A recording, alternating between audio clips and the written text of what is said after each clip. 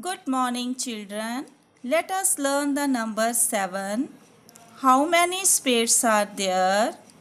1, 2, 3, 4, 5, 6, 7. Yes, there are 7 spades. How do we write 7? Remember, sleeping line and slanting line forward slanting line. Let's use both of them to write 7. Let's write it. First sleeping line, then slanting line, forward slanting line. Look, number 7 is ready. Hey, this is looking like 7, isn't it? Yes, space looking like 7.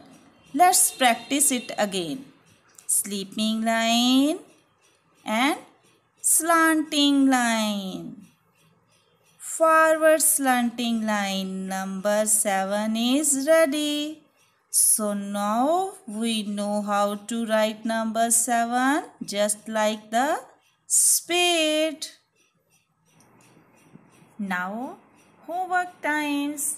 अब आपने अपनी मम्मा से यहाँ पर dots लगा के page number 18 page number 19 दोनों pages को कंप्लीट करना है।